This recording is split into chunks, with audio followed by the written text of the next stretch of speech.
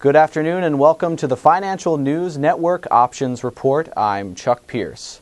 On the call side, Dillard is seeing close to six times the normal amount of calls today after the company was mentioned positively by analysts.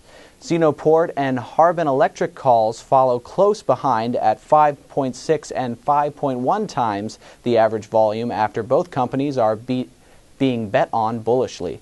Leap Wireless calls are at over 4.5 times the average amount as investors are flocking to the sector after news of AT&T acquiring T-Mobile. AT&T calls are also seeing heavy volume on the news, coming in at 4.3 the average amount.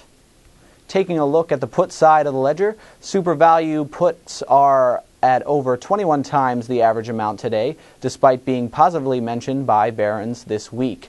BJ's wholesale puts are continuing on their bear run today with 6.5 times the normal, the normal volume. Sara Lee puts are just over four times the average amount after news that the company is no longer being targeted for acquisition. And finally, Verigy puts are 3.4 times the average today after the company announced that it has received a superior offer from Advantest to acquire the company, spurning a previous offer from LTX Credence.